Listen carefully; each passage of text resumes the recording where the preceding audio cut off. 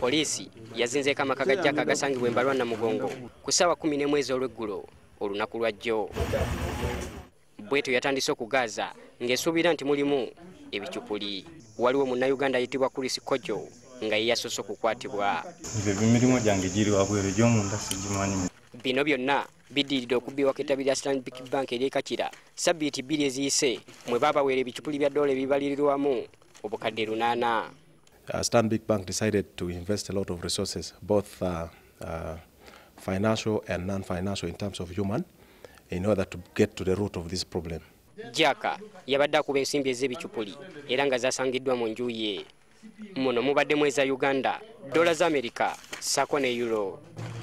Era wabaddewo n'empapula ezeyambisibwa okukuba sente zino. Ekyewunyisa mu nnyumba ye musangiddwamu ebiso omubadde essasi. Ebiso ebyambalo by'amagye n'ebirala. Esasi eri life life blood bagisangamu which is actually eki- ekindetedde okuddamu ate twagala kulinnya ate waggulu tuddemu okwongera okusaakinga okukakasa. Jaka era abadde n'ebimwogerako nga biyitirivu obungi nga kigambibwa nti buli nsi gy'abadde agendamu ng'akyusa amannya n'akozesa amalala. Ono abadde tamanyiddwa babuyinza mu kitundu.